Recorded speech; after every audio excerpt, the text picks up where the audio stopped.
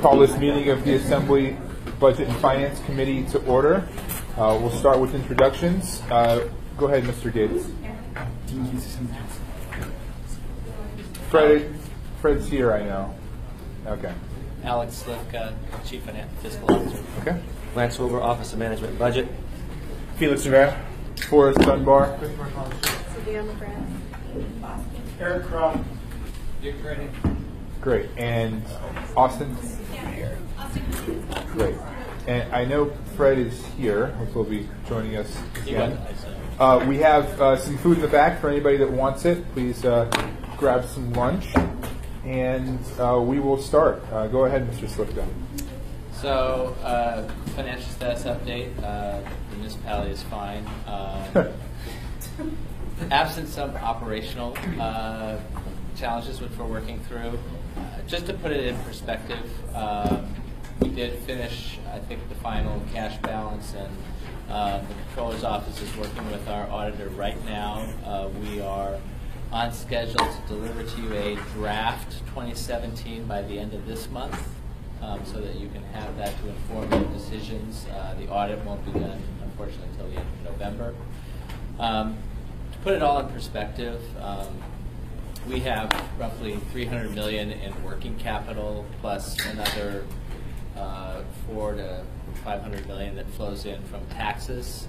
Uh, and then on top of that, we have what uh, Lance will refer to as our 10 and our 2, but that's roughly $50 million of uh, unallocated cash that's there to support our AAA bond rating. Um, and plus we have another 125 million in various debt reserve accounts. So the municipality really does have quite a bit of cash. Uh, we're not trying to make excuses for what happened in 2017, um, but uh, from a fiscal standpoint, uh, we are in good shape. Uh, I will stop there and ask any questions. Joined by Mr. Dyson. Uh, any questions on this portion?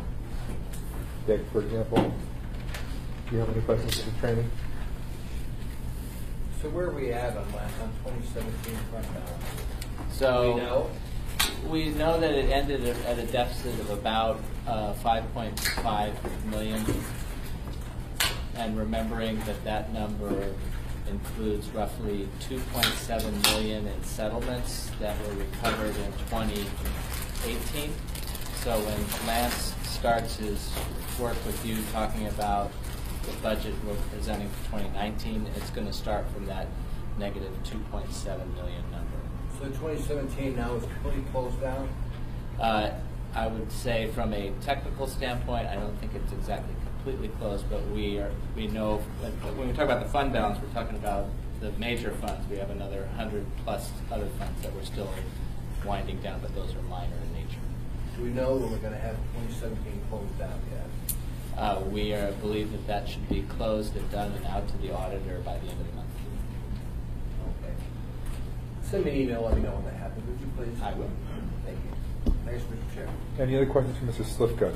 If not, we'll go on to Mr. Wilber and the budgets. Yes, Mr. Slivka? Well, I was going to say, if you wanted an update on revenue for 2018, uh, the treasurer, Mr. Morris here, could spend a few minutes telling you about where we are for 2018. Is now, is now a more appropriate time than during Lance's presentation? Now's the best time. Dan? Mr. Okay, Moore? uh, So I'm Dan Moore, City Treasurer. I'll make this real fast on revenues. Uh, We, uh, the, the uh, picture has improved, so that's good news. Um, And uh, we are going to be slightly under uh, our revenue budget, but by, not by a whole lot. It's $1.1 million. And about half of that is actually in the building safety fund, okay? Which is uh, more of an autonomous fund. So if you subtracted out that, all of general government minus building safety, we'd be about a half a million dollars under our revenue budget. So that's, that's very good news. Um, There is, um, and that's our current projection. Um, The, the largest negative uh, for this year is $1.7 million. Uh, That's from state uh, municipal assistance. And that, uh, we were paid less than what we had budgeted, and that is a, uh, that's a known condition that's not going to change. Uh, The second largest negative uh, variance is investment earnings. That one does change significantly from month to month. Our current projection is that we will uh, be under budget $1.1 million. we, we don't have control of the market, uh, but, uh, but we are doing our best to invest it timely and to capture those higher rates as they go up. And in fact, that has been helping us over the last couple months. Uh, the picture on investment revenues has, has, has improved. Uh, or just over last month, improved by half a million dollars. But there is volatility and we cannot predict exactly how the year will end with investments. The two largest uh, positive variances are property taxes. It's $1.1 million. It's about half, half of that is personal property, half of that is real property. On the real property side, it's a direct reflection of some audit work that's been done uh, by, um, by the people in property appraisal.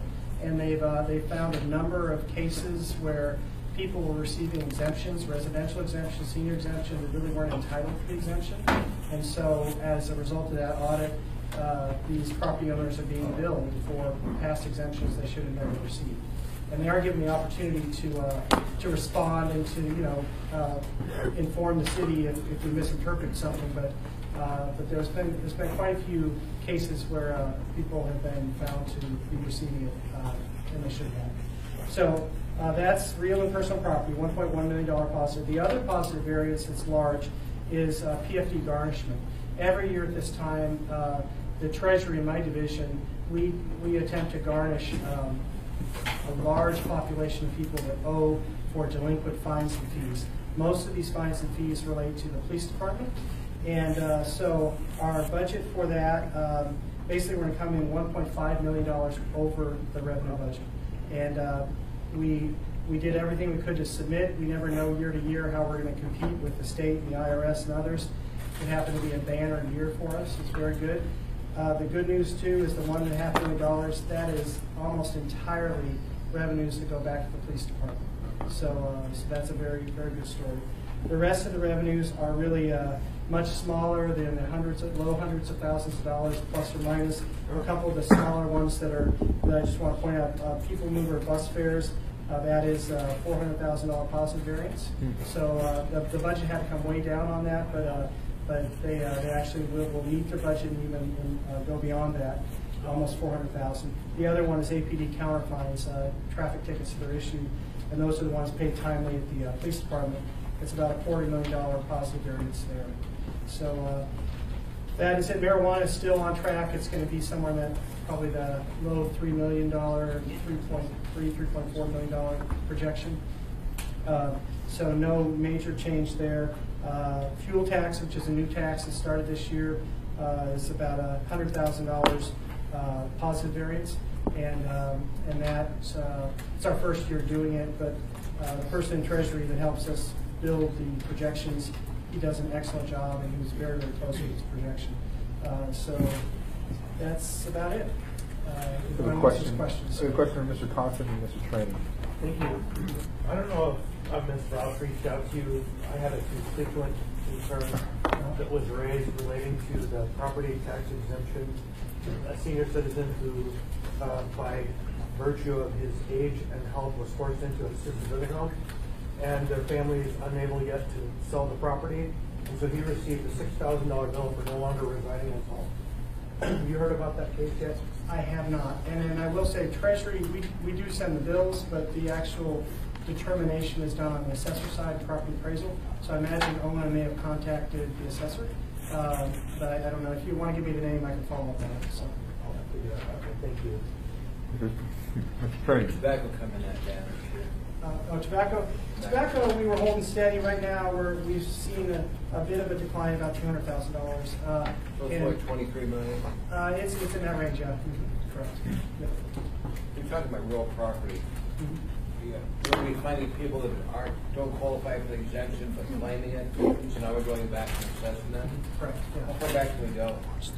They have some cases which go back, uh, gosh, three, four, five years. I mean, it can go back pretty far. Uh, So, but it it varies by case, so. Let me ask you reverse that equation. If we have somebody that's being assessed for something that doesn't exist on the property, how far back can they go to get money back to the city? It's, uh, they, it's a one-year cycle, refreshing cycle. We can go back Yeah. multiple years, they can only go back one year. That's correct, yeah. Okay. I'll have to work on that. Thank you very much. Okay, sure. Mr. France. Thank you, Mr. Chair. Can you refresh my memory on how the fuel tax is structured? So with a hundred million, or hundred thousand positive variance, where does that money go? Okay, it's an area-wide revenue, and uh, this year it's, uh, let's see, it's 10 months' worth of um, of revenue, so it's prorated. Uh, It's an excise tax, and all the fuel distributors basically file with us, we receive the money, and then, since it is area-wide, OMB has the opportunity to apply to the budget in a pretty general way. It's not, it's not um, uh, designated, and it's not specific to any, like, particular source. So it that. Thank. Uh, We've been joined by Mr. Weddleton. Mr. Weddleton, you have a question?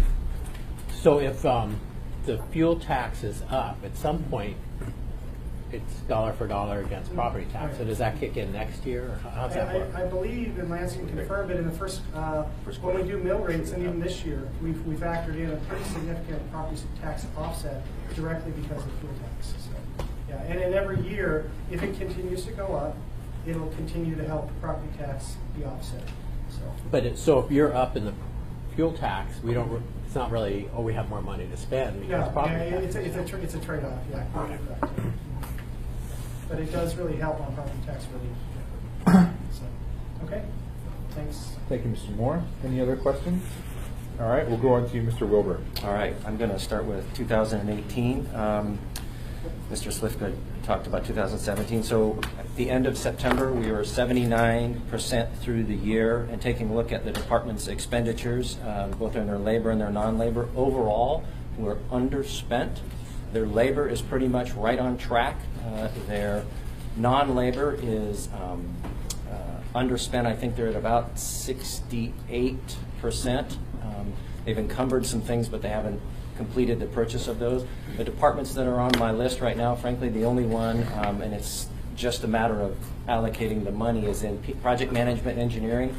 Um, It's showing that they're over budget, and it's because they haven't actually moved their charges to capital projects in which the way they have to do that.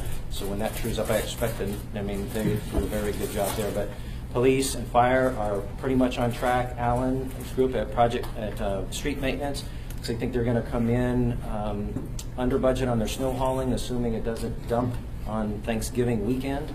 Um, And then, but right now, that, the extra resources that we gave them this year, they're not, they haven't dipped into that this year at all. So overall, all general government departments looking, they're right on track. And um, we'll have a, a- a report to you through an AIM at a, at a different meeting. So that reminds me, so um, in the proposed operating budget, do we have that additional money for snow removal plans? We do not.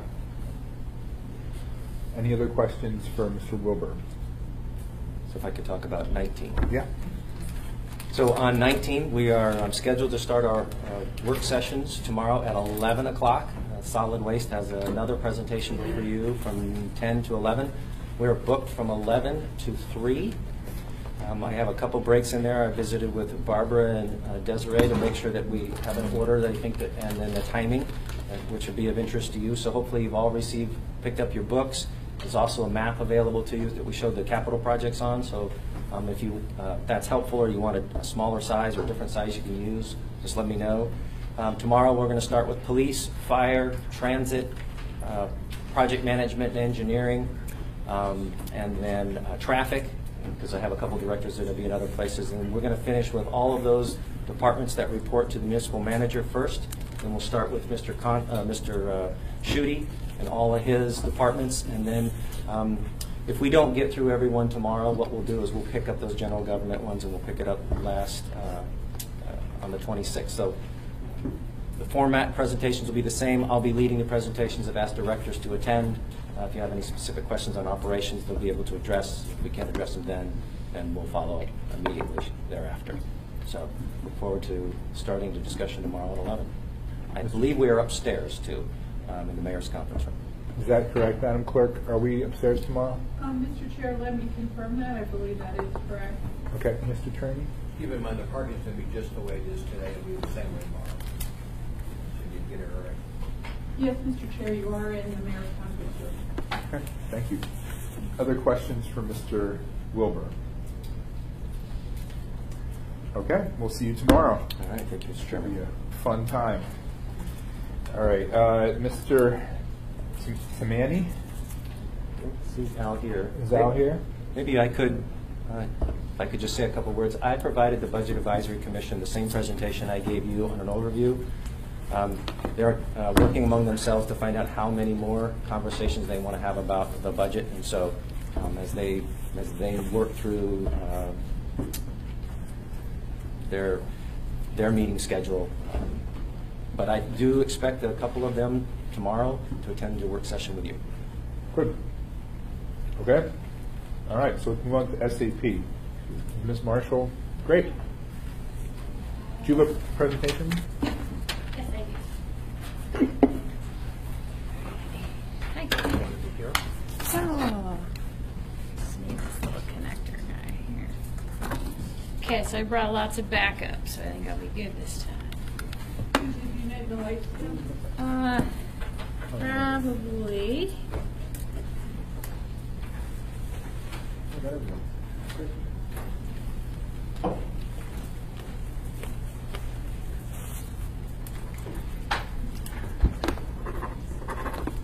Okay, so um, I'll just get down to it. Um, so this is just a reminder, when I took over in May, this was, when I took over as the acting director of IT, this was kind of, this was the structure of the SAP team. We had some core staff, but we had a large pool of uh, consultants working on the job. So the goal has been to try to get the knowledge transfer and, and to change this structure. So, so highlights since June. Um, I have new management in the SAP team. His name is Philippe Bryce. He's been there now for two months. Super excited to have him part of the team. Um, we have reduced our number of contractors from 23 to 13. We have pause on the new application management service support RFP. And so what that was, when I walked in, there was an RFP on the street. Actually, it was already on the street. They were collecting proposals for a new application management services support for SAP. So it would be a, a way to have new, um, a different, in theory, like a different group to provide consultants to help us as needed. And what we learned as, what I learned as we were going through this process is that we weren't really ready for this type of having this support because this type of support would require that our team was all knowed up and had all the all the knowledge that we'd be able to impart on our uh, to inform our consultants on this new team to help us and we would have to hire a consultant to teach the consultants. So it was like let's pause on that and we will focus on that next year once we get our kind of our um, stuff together. Um, the other interesting is right now SAP is hosted so that the actual application and all its support is hosted in a in a SAP uh, environment, called HANA, HANA Enterprise Cloud. And what when we initially um, contractually agreed to go to this model, this remote um, cloud service model, they provisioned a whole bunch of servers that we didn't need. So right now we are in negotiations, and I think we've just finished them hopefully last week. We looked like we got a good number um, to reduce that number, so that means our billing costs will go down, and we're finalizing that dollar value. So we've been in negotiations on that as well. Um, and then we're also been working on a Solution Manager upgrade, and Solution Manager is the tool that manages all of our upgrades and um, keeps track of like when we made this change, it, we document how it impacts and what the details are. So it's, it's a way to have our knowledge, um, collective knowledge maintained, and this tool is helpful. We had to upgrade it. So this is our where we want to be. So the team is bigger, but we have a less reliant, uh, we have less consultants in the mix. And I've showed you guys this before. I don't know if we need to go over it much, but overall, the green was existing staff, blue was new, and then we would still have a reliant on consultants, but only as needed, and hopefully um, that dollar value and cost will go down. So, um, you, and you feel free to ask me a question if you want now. I don't see anyone. So, where we're at now is we are trying to get our additional staff on board as soon as possible because of the funding um, the change up that we did two months ago. It's allowing us to get these uh, job positions out in the street. And it's taking us a while because the, um, what would I say, the, the ER process or HR process, you're getting a new position defined and published and posted takes a lot longer than I would have thought, but here we are. And we, as of this week, we are, and hopefully, they've been approved. I got five positions, and hopefully they'll go on the street tomorrow. So, so we're looking at probably two months cost of that, and that would get us a report, a report developer, a training manager, functional analyst, or there's two of those. One would be for the ER, HR part of the tool, and then one would be for the um, finance part of the tool. The Philo versus HCM. You'll see that quite a bit. And then the other one is an interface lead. That has been, the interface lead has been a consulting position, so we need somebody on the team that knows that and that we want to make sure we're retaining that knowledge. Um, okay, so here's what the difference is. So looking at, this is what I promised you before. Um, here's our overview on our budget. So in 17, um, we had quite amount of, we had a large 20 million in capital costs for development. And those were, that was consultant efforts. Uh, 2018, we're at like a 1.5 million on that. And then 19, no more capital costs on that effort. Um, overall, we had a 2017 budget or a expense of 26 million. 18, we're down to 12. 19, we're down to 9. And hopefully, the 19 number and probably the 12 number will go down based on our current negoti excuse me, negotiations with the hosting center to reduce that cost. It could, it could give us a reduction of $40,000 a month. Uh-huh. Yeah, go ahead. Um, Just looking, so Yeah. in, in that capital cost, it's like you look in eighteen and you got over five million for consulting and not as much in seventeen, but that twenty million included lots of SAP consult, lot, there's a lot of labor. in there. Yes. Right. Oh, yeah. Yeah. It was mostly, it really was labor. So we didn't really go up for that consulting. You mean, oh, you mean Between in the 17 18, and oh, 18. right, because it was, it's capitalized versus operating. Yeah, I understand what your question is. Yep.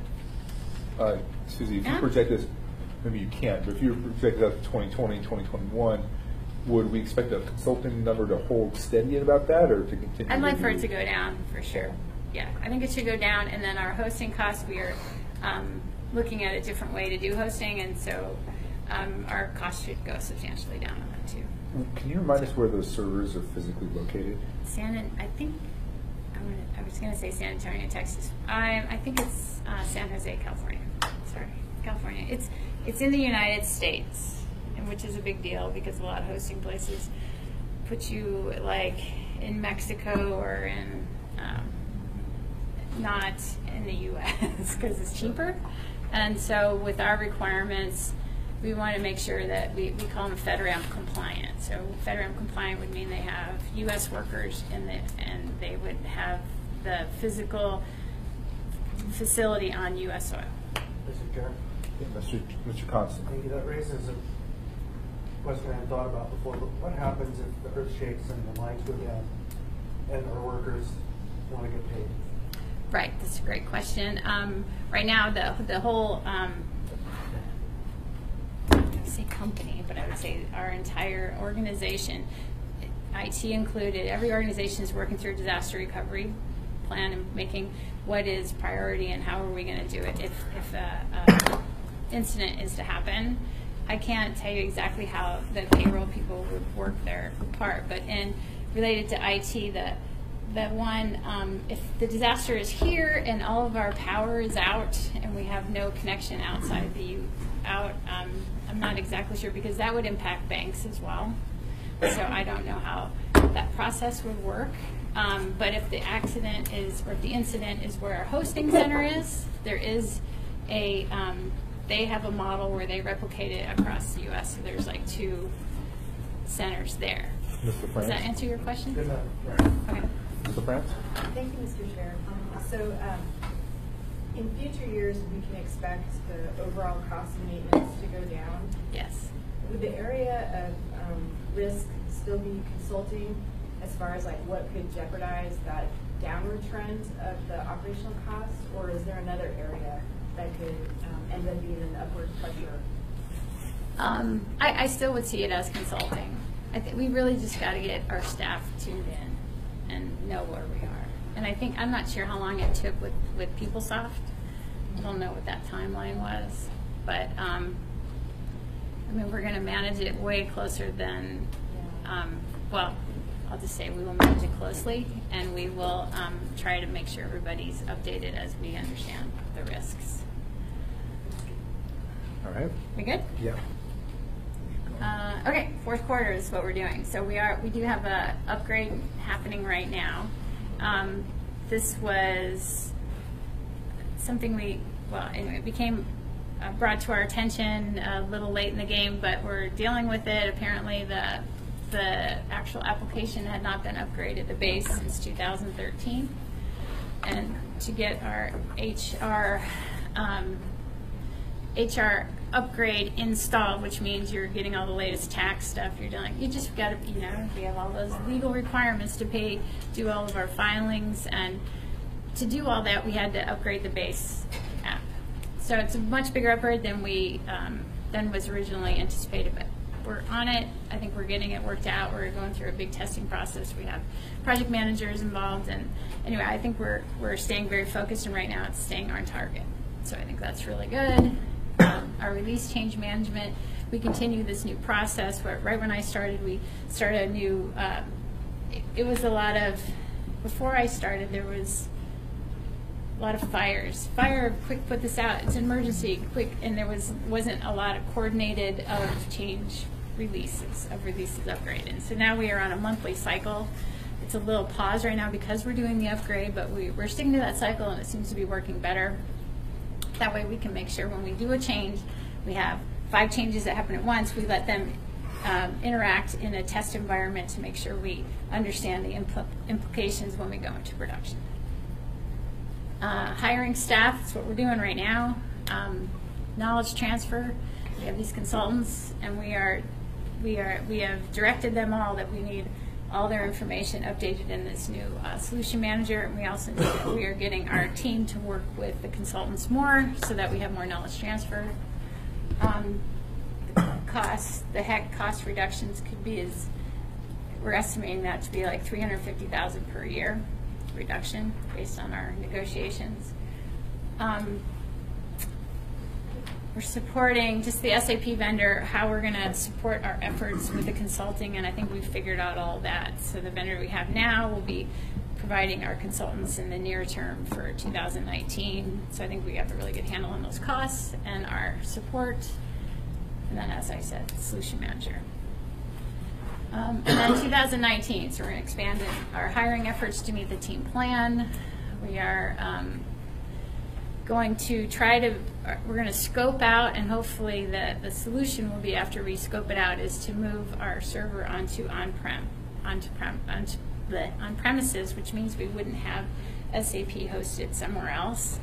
There's pros and cons to all of those things, and that's what we'll be evaluating in the beginning of the year before we just decide we're going to do this change. Um, but if we do that, it would be substantial cost reduction overall. When you say move Yeah. on premises, You're talking about the servers or something else? Yeah. And the servers, where in Anchorage would they physically be located? They would be physically located in our new uh, data center, which is in uh, GCI co-location facility. They call it the SADC Center, which I think is physically over off the International Airport area road. I, I haven't been there, but I think that's how it's been described to me. Sure. Good. Yeah, Mr. Attorney? Yeah. So you won't move it to where ASD servers are located on Fort Ridge? and They've already got a data center there?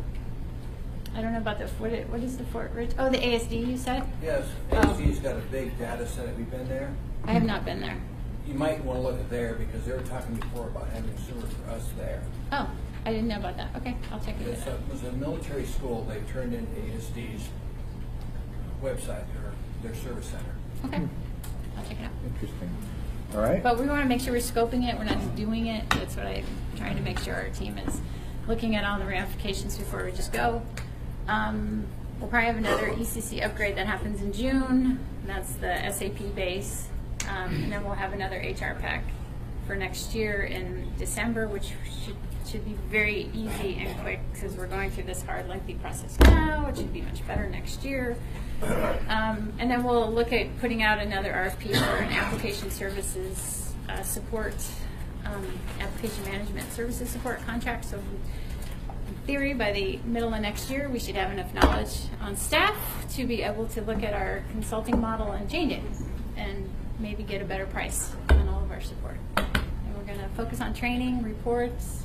Interfaces are kind of a, a thing. Interfaces is when you you are, um, like for example, when we do payroll, you, you need to make sure you're also sending uh, money to the benefit company or the, you know, who's ever managing it. So that would be an interface. And so there's been some challenges on that level of support, and we want to make sure we're, we got all those tuned in. Right now we have like 80 interfaces, and I just want to make sure they're all up and running and we're not doing, um, apparently we're doing a lot of workarounds. I want to stop that. Um, and then making sure we can do reporting, because that's the other big stress. And then there's some additional tools in Solution Manager that should make everyone's life easier, but we have to implement them, and that takes time, but we'll get there. Okay. Is that the end of your Yeah, presentation? I think that's it. Yep. All right, any questions for Ms. Marshall before we go on to payroll questions for Mr. Falsey? Question, Mr. Chair? Yeah, Ms. LaFrance. Thank you for the, very much appreciated. So for the five positions that you're starting the recruiting process with, Yeah. is based on your understanding of the uh, local market, do you think you'll be able to hire local folks for those positions? I, I think so for the really um, SAP, the, the real high level um, people, we've got some, we have, we have a line on people that want those jobs. So I think we've been working it hard on our channels to talk to people. Um, so we think we have a way to advertise and get the right people in. Um, we also are looking at, there's a support group, SAP support group, um, and we're going to want to put stuff out there. Full start program or what? Uh, Mr. Traini? Okay, as you're advertising positions. Yeah. Would you please put on there SAP qualified, whatever standard you want? I don't want somebody coming in here to do this that's not SAP qualified. Right, yes. Otherwise, it's just shooting us back. Agreed. At the beginning. Yeah, If you can't speak SAP, then they shouldn't be applying for the job. totally agree. Sure, someone says hard. Yeah. No, we did, um, we did, I think, a very good job at getting some good um, job descriptions put together. We had a couple different vendors who offered to help us do that. Um, anyway, they, they, they're very thorough, and I think they're, it's, it's a, I think it's a, we've done a well, a good job, so. Other questions, Mr. Constant? Yeah, so you mentioned a 2013 HR bill or software bill. Is that when we bought this program, 2013? I think we paid, wasn't it, when did it start, 11, 10? Okay, so Something like that? Probably. Is 10? that long ago? But the build, I was surprised that we were on a 13 build myself. So to learn that, and then that would, if we didn't upgrade the base, then we couldn't do the incremental update, and it was just a bigger thing once. You know, it's like picking up a rock, and you're, oh, there's another snake. Okay, let's hit it and let's do it. And I do think our team is at least owning it and doing it, and I, I think we're, it'll be okay. Yeah. Okay, thank you, Ms. Okay. Marshall. Uh, Mr. Falsey, do you have an update on the payroll? I do. Do you have a PowerPoint? Do not. Oh, No. A really big show. out of character. I do not have a PowerPoint this week, uh, and that's the first part of the update. Uh, In part because uh, the story is not different right now. Um, I mentioned last time when I gave the update that the big push would be to get the several defects fixed in Release 4, and that's where payroll has been focused. So they pushed half a dozen defect corrections in R4 last week. They're pushing two more today. We've got a few more that are still coming the upshot of correcting all those lingering defects in Release 4 and in the additional defect corrections that we're looking to push through as emergency transports even beyond Release 4, that we will have configured the machine to largely plow through those 1,400 payroll corrections that are still in a defect status. I also said that we were going to be cross-training up most of the payroll department and assigning them a couple hours a day or more to churn through pay corrections so that we can finally clear this backlog. That has begun. Two folks were cross-trained yesterday and started plowing through those pay corrections yesterday. But that is a new development beyond when I was able to get new data because we were focused on R4 before. The update I wanted to meaningfully give you this time was more on the improved communications. So I asked our employee relations department coordinate with payroll and with IT to say, let's make sure that everyone says we're all on the same page here. So David Peterson, our labor relations specialist, sent to each union, here is our current understanding of all the outstanding defects that need to be fixed in the system that affect your members, and here is the plan and the timeline for when we're going to correct them. We did get some questions about the timing from a few, but the only, we got one union who said you missed some, and that is IBEW. Dusty is here. I am told that David Peterson is going to give you a formal response today, but we deeply dove into each and every one of those. Probably in the interest of everyone that we have a separate meeting where we can compare notes, but we're way in the weeds on these. We got folks saying like if you work double time and you code your time to two different things and your meal period may populate incorrectly. I think that one's being fixed today. Renee's shaking her head there. Uh, we've got some schedule issues which may relate to the CBA. I think we can fix that out. There was one employee who was having a problem with holidays on the 12-hour schedule. We, the employee that we've been following, we think it's working for, but if you've got a different employee, we should huddle and figure out what's going on. In any event, I think we are keenly interested in making sure we all see the same thing. So, Dusty, if we want to find an hour, happy to find an hour. Um, other than that, I think I should be able to give you better information when we next meet now that we are through the R4 push, and it does look like we are making incremental progress. Mr. Train, any question? Mr. Chairman, could we ask Dusty in two minutes, give his version of what's going on? I want to understand, we have people for 2017, their payroll is still not corrected. Okay. And we're talking a lot of tax issues and fines they can, because of labor negotiations. It's like fifty dollars a day. We don't want to do that. I'd like to at least hear from them, from their perspective. Let's see if there are other some members with questions for Bill first. And if there aren't, then I'm happy to hear from Dusty or anything additional from Bill. Uh, Mr. Weddleton? Can you address the fifty dollars a day comment? Yeah, and in fact, that was my question too, like, what's our strategy? Right. So uh, as we started this iterative process now many months ago, the first time I put each of the collective bargaining agreements errors and pay sections up on the board. We can do that again next time if you like.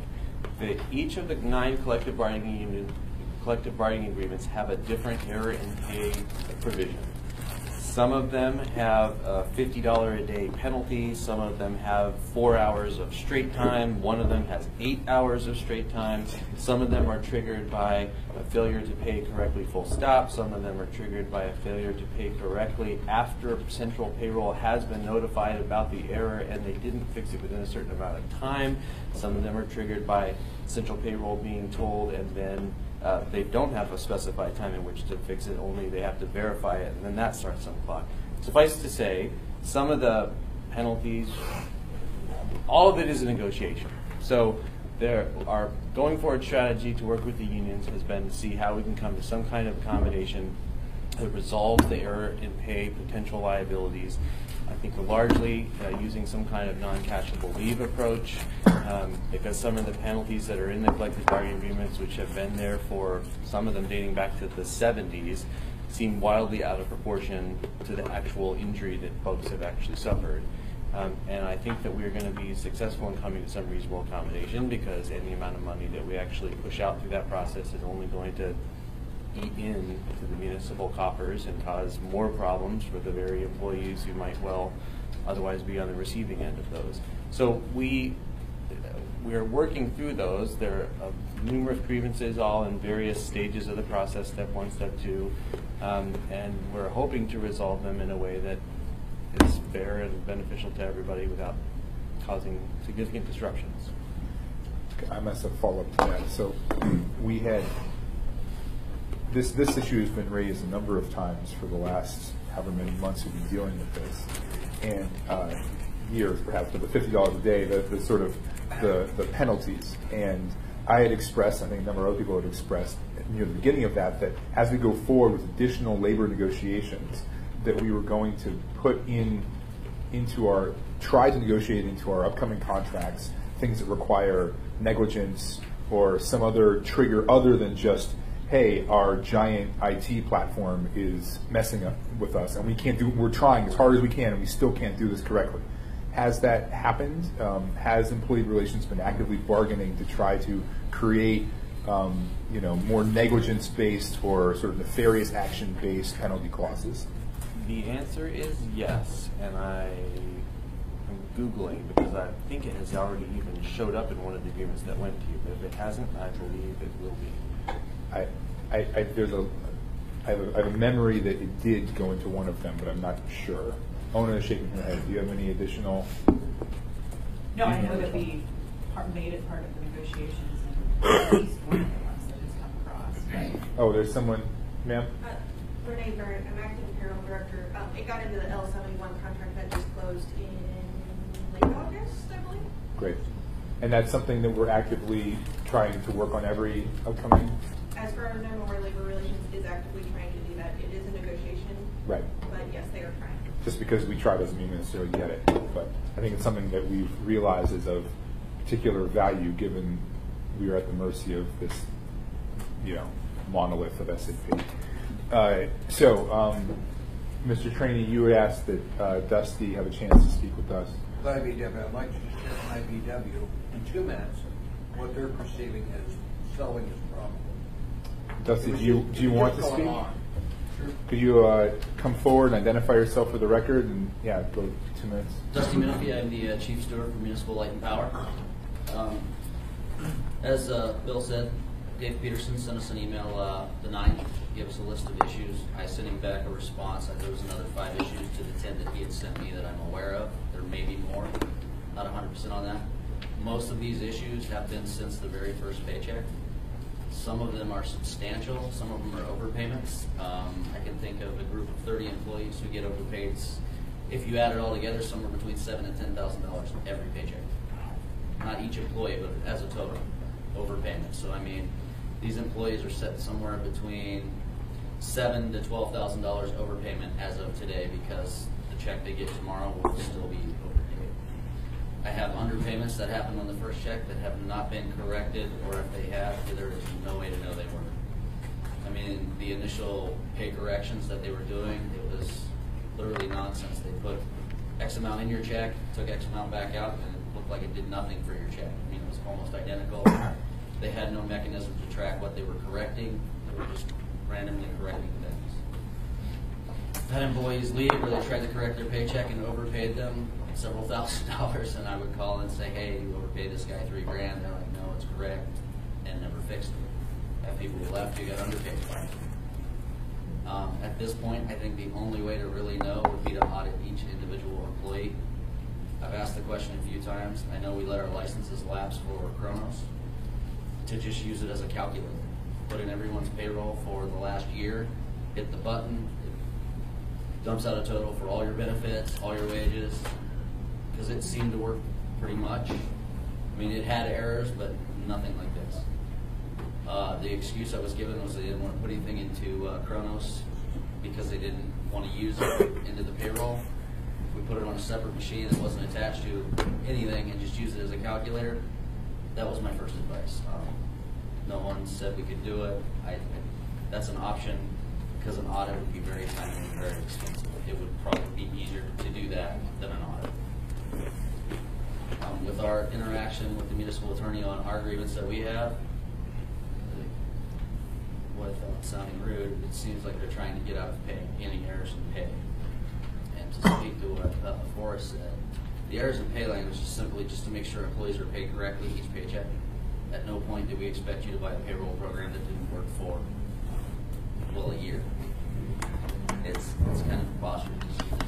I mean, I, I don't know what else to say. There's a lot of upset employees, and I mean, they're at a point where they're irate, and this merger that's going through currently with Municipal Light and Power and CEA, the question I keep getting is, are they gonna fix this before we're sold? That's the big question on everyone. That's pretty much all I got. Okay, uh, Mr. Weddleton, you had a question?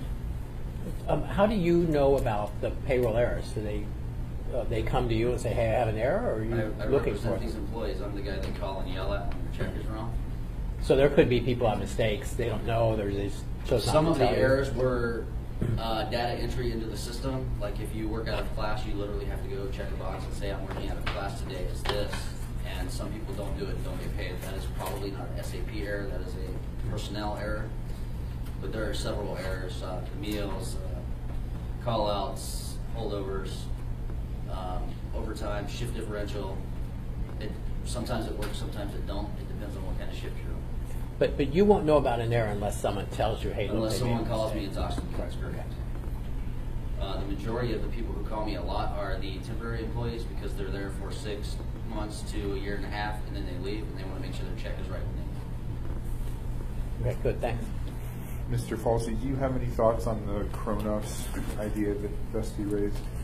Uh, not immediate thoughts, but I'm happy to discuss it. I mean, we should get together and hammer this out and figure out what the best way forward is. And I think, I mean, we're all people of goodwill. We all want to get this fixed. We all want to get it fixed as fast as possible. So if that's the right way to do it, we'll explore that avenue. It would seem like the easiest way. I don't know if it's right. It's just a thought. Okay. Any other questions for Dusty or for Bill? Thanks. Thank you, Dusty.